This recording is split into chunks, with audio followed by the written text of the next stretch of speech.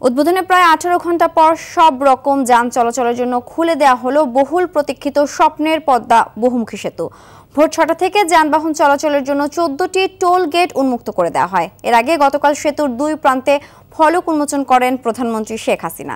নির্ধারিত টোল দিয়ে three wheeler ছাড়া যে কোনো গাড়ি পার হতে পারছে ছয় দশমিক এক পাঁচ কিলোমিটার স্বপ্নের পদ্মা সেতুতে।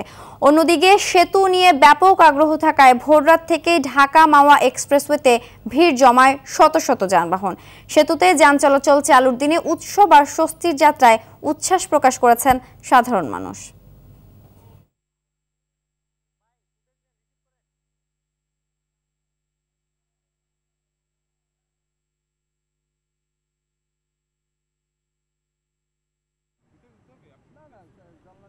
দীর্ঘ অপেক্ষা করতে হতো ফেরিতে বসে পুরা রাত ওখানে অপেক্ষা করতাম। এখন তো আমরা ইজিলি আসতে পারতেছি। লাইফটা অনেক কষ্টের ছিল তো এখন মনে হইতেছে খুব সহজ লাইফ তো মনে করেন যে মনে দিন গেছে দুই দিন গেছে গা তিন দিন গেছে গা। এমন সময় গেছে। দিন ভর বসে রয়েছি কিন্তু এখন যে যাইতেছি আসতেছি যাইতে পারব আসতে পারব আলহামদুলিল্লাহ।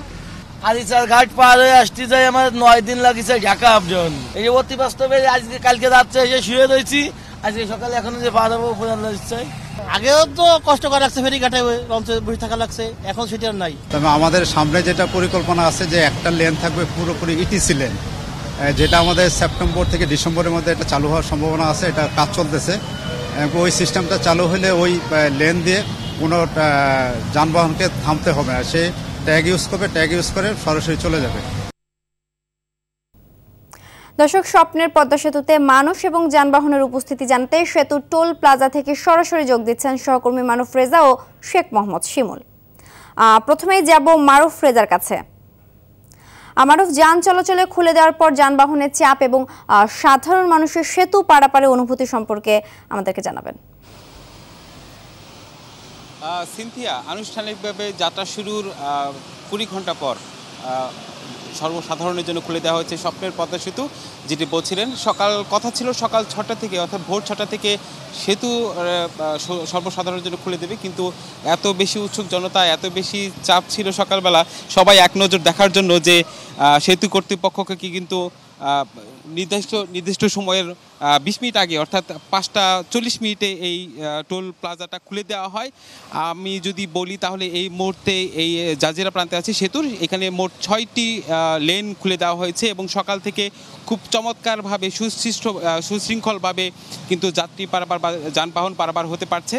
তবে একটি সিনথিয়া বেশ কিছু বিষয় বলে রাখি। এই অনন্য একটা বিষয় আমি এখানে এসে দেখলাম, সেটা হচ্ছে যে এই পদ্মা সেতু টোল প্লাজায় কিন্তু নারী পুরুষ সমানভাবে সমান যতগুলো পুরুষ ততগুলো নারীর এখানে নিয়োগ দেওয়া হয়েছে এবং প্রত্যেকটি টোলের আমি যদি বলি বুথের ভিতরে একজন নারী এবং একজন পুরুষ রয়েছে, এটি একটি অনন্য উদাহরণ বলা যায়। সিনথিয়া আর একটা উচ্ছ্বাস, মানুষের উচ্ছ্বাস তো আছেই, কারণ আমরা জানি যে এর আগে দুই প্রান্তে যখন ফেরি পারাপার হতো, তখন কিন্তু চার, পাঁচ ঘণ্টা বা ক্ষেত্রে বিশেষে আরও বেশি সময় ভোগান্তির শিকার শিকার হতে হতো। বিশেষ করে যারা অ্যাম্বুলেন্স বা রোগী যারা রোগী যারা যেতেন, তাদেরকে আমার, আমি কয়- কয়েকজনের সঙ্গে কথা বলছিলাম যে এমনও অনেক উদাহরণ আছে যারা অ্যাম্বুলেন্সে পারাপার করতে যে, অপেক্ষা করতে করতে যে মারা গেছেন। সেই অভিজ্ঞতা থেকে বা এই এই উত্তর দক্ষিণাঞ্চলের প্রায় উনিশটি জেলার মানুষ এখান থেকে মুক্তি মিলল এবং এই সকাল থেকে এখানকার মানুষ যতগুলো যাত্রী পারাপার হচ্ছে তার থেকে বেশি সংখ্যক বলা যায় যে উচ্ছ্বসিত জনতা। তারা টোল টোল দিয়ে তারা ওপার যাচ্ছেন এবং ওপার থেকে ফিরে আসছেন। অর্থাৎ এরকম একটা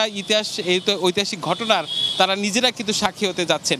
তো এই- ছিল আরেকটি বিষয় চিনতে এখানে কিন্তু সব যানবাহনের জন্য খোলা খুলে দেওয়া হলেও নিরাপত্তার কথা ভেবে কিন্তু এখানে কিন্তু পায়ে হেঁটে বা অন্য থ্রি হুইলার যেটা বলছিলেন, সেটি কিন্তু চলাচলের কোনো ব্যবস্থা রাখা হয়নি। আরেকটি সুখবর আছে, সেটি হচ্ছে যে, এই যে খুব কম্পিউটার কম্পিউটারাইজ পদ্ধতিতে এই টোলগুলো দেওয়া হচ্ছে, যার ফলে খুব সহজে খুব দ্রুত সময়ের মধ্যে টোল নেওয়া হচ্ছে। তবে চলতি বছর সেপ্টেম্বর থেকে ডিসেম্বরের মধ্যে এখানে আরেকটি মেশিন বসানো হবে অটো সিস্টেমের, যেটি করতে গেলে বেশি যার জন্য আরও বেশি সময় হয়তো বা কম সময় লাগবে, এর থেকে বেশি কম সময়। তো সিনথে, আমার কাছে এখনকার খবরাখবর ছিল এতটুকুই।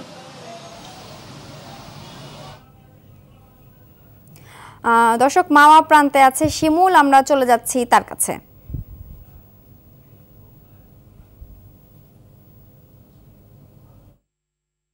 এই পারেও কিন্তু অর্থাৎ মা প্রান্তে যে টোল প্লাজা রয়েছে সেখানে কিন্তু চিত্রটা প্রায় অনেকটা মিল রয়েছে। তেমন টোল প্লাজা রয়েছে সেখানে কিন্তু চিত্রটা প্রায় অনেকটা মিল রয়েছে। তেমন হচ্ছিল যে এই মাওপ্রান্তে যে টোলগুলো রয়েছে সে টোলের বক্সের মধ্যে কিন্তু নারী পুরুষ সমন্বয় করা হয়েছে।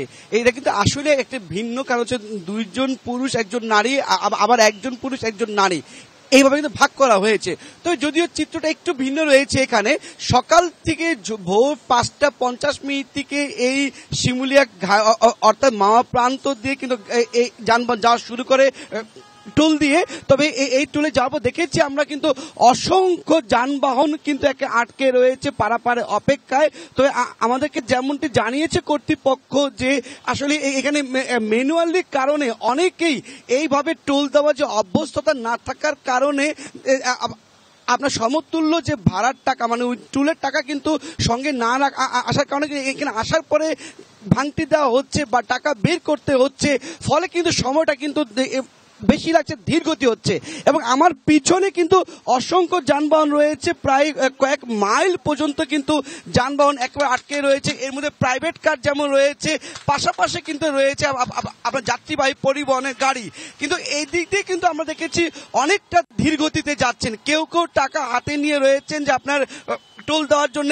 কেউ কেউ কিন্তু আসার পর পরে দিচ্ছেন এবং এবং তারা বলছেন যে আমাদেরকে যেমন বলছেন যে এই কয়েকদিন গেলে হয়তো বা এই পরিস্থিতিটা মানে ওই স্বাভাবিক হবে, কারণ সবাই যে আপনার যাওয়া আসা যে একটা মানে নিয়মের যে পর্যায়ে রয়েছে সেই বিষয়টা কিন্তু আমরা দেখতে পাই না এখনও পর্যন্ত। তবে